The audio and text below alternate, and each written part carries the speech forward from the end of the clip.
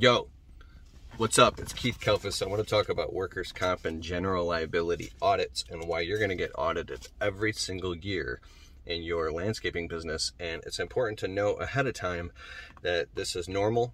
I'm going to walk through it real quick because I'm just finished two audits myself for workers' comp and general liability. I'm out doing my Saturday errands, not working. Well, I'm, I work every day, but just went to the office to check my mail and so here's how I do it. And I also want to talk about overcoming some of the maybe fears and anxieties. When I first was getting my landscape business off the ground and to crossing the 100K mark start hiring employees, I heard these kind of nightmare stories like, oh, you better watch out, man. They're going to audit you, the IRS and the workers' comp. And, and if something's wrong, dude, I had a friend who ended up owing like 60 grand. I'm like, oh my God, was he able to pay it? He's like, well, he's paying it off now.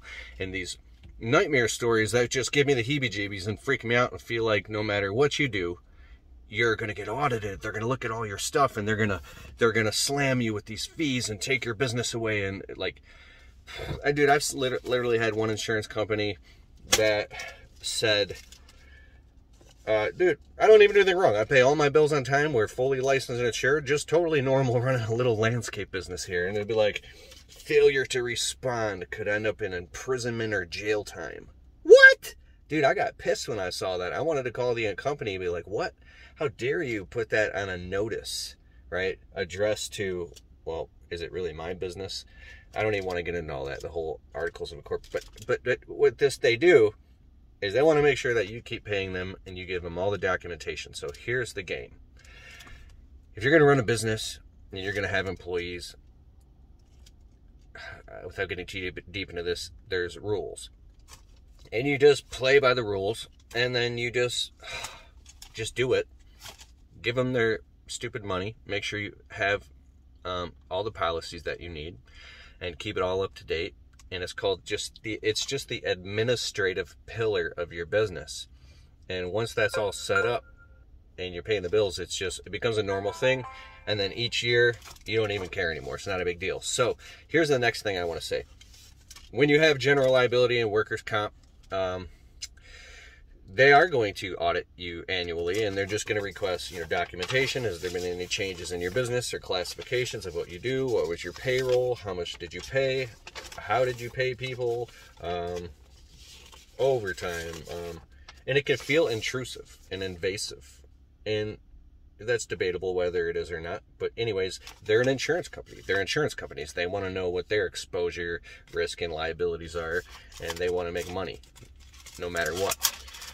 So, um, with all that being said, and you understand that, so when, when, when, you get these notices in the mail, if you have an LLC or you get taxed as an S corp, whatever you do, when you have articles of incorporation, this ain't even addressed to you. This is addressed to your business. It just happens to be a business that you're the president or a shareholder of. It's not even got your name on it. You might be listed as a policy holder, but what I mean is when you remove yourself from this sounds weird but kind of like the jurisdiction of this whole thing it was like me they're coming after me and they want all this stuff from me. No. That insurance company is doing business with your business and you could just remove yourself from that those emotions and just say oh they're just requesting this paperwork so the business can be insured. Like there's you take the emotion out of it. But for me i get triggered by this stuff and and and i would. Now it's more of an annoyance but i used to have an emotional response. And so what would happen is it would create a mental and emotional block. If you're the type of person who you like to go cut grass and trim trees and install mulch and rocks and move boulders and work on shit and you're a very physical work with your hands type of person and you don't like to be trapped sitting in front of a computer going through P&L financial statements doing insurance stuff administrative tasks I hate that stuff even though I do it every single week I do my Friday finances and my Saturday errands and mail off the quarterly taxes and the insurance and talk to the bookkeeper and the accountant and all this crap like you just have to do it. It's it's just the tax that you play, the game you play and the tax you pay for running a business. So you can get all the perks of running a business, which is like you get cool tax breaks, you can make a lot more money than having a job. The sky's the limit. So think of all the good things you get. But with that being said, if you have an emotional response, you might have a huge self-limiting uh, these emotional blocks where you literally cannot get yourself to do this audit because it uh, you don't have time for it you don't know how to do it. It takes an entirely different part of your brain that you don't normally use, and you have to sit down in front of a computer and do all this crap and pull reports. If you've got a lot of stuff going on and you're trying to do it from maybe even a home office, it's really hard. So here's what I do. Even though I've done all this stuff myself before, I hate doing it. I don't have time for it. I delegate. I call it my bookkeeper. I call it my accountant. I say, hey, I have this audit coming in for workers' comp and for general liability. They're back to back. Can you help me with this? Because I'm way too busy and I'll pay you at your standard billing rate if you can help me. And then they'll literally respond, yeah, we do this all the time. Send us over, pull the payroll reports, send it, and we'll do it all for you. Oh my God, I don't know how to pull the payroll reports. There's all the W-2 and 1099 and 10, uh, 1040 easy and W-4s and I-9s and, um, wait, there's a whole bunch of them. There's like 20 different pages and pages and pages of all these different random reports that when you go to pull these reports, you won't know the difference. So you're like, now you feel like you got to sit down and do study and research for three and a half hours to find out what this stuff even means.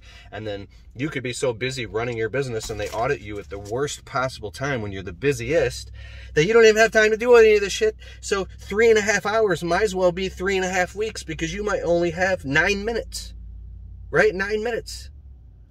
So I literally have asked my accountant and my bookkeeper, dude, I literally don't even know how to, in the past, pull the reports. What do you mean pull the reports? And I'm sitting here in anxiety and like, the phone's ringing. It's customers, employees need me. This thing broke down. My wife's calling my name. And you're trying to pull reports for payroll and there's a deadline. Some people can easily do this. No big deal. Some people suck at it. I suck at it. So just give them your login to your payroll and they can literally pull the reports for you or they can show you how to do it. I know when I have a deadline, I can perform amazing. Like when I don't have a deadline, I procrastinate like crazy. But I'll just go pull a whole bunch of reports within a timeline, hoping it's the right shit. And I just email it all over to the accountant and be like, is this the right thing? And he'll look through it. Boom, it's perfect. All right, dope. Here's the logins to my insurance company. Do it. All right, Next Monday rolls around, my accountant is like, and your accountant can do this for you. They did it all for you. And then you'll get an email from your insurance company. Good, your audit's done. You're all set. It's over. And then you just get a bill from your accountant. 100 bucks, 200 bucks, 300 bucks, whatever they charge you at their standard billing rate. So I use, uh, for my bookkeeper, I use Blue Skies Services. They do all my books uh, for both my businesses P&L statements, and it works hand in hand with my accountant. Uh, go to keithkalfas.com slash resources, and you can get a discount if you want to get a bookkeeper. I use Blue, Your Blue Skies Bookkeeping, or go to your, yourblueskies.com slash kalfas. Anything that I talk about in my videos, there's always something on my resources page at keithkalfas.com slash resources. I'll put a link below for that. Now, my accountant is a local accountant. He can't take on like nationwide clients. Um, you're gonna have to find your own accountant. But yeah, I hope that that serves you. I hope that makes sense. Don't stress out about this stuff. But when these when the, when these notices come in, get them handled immediately.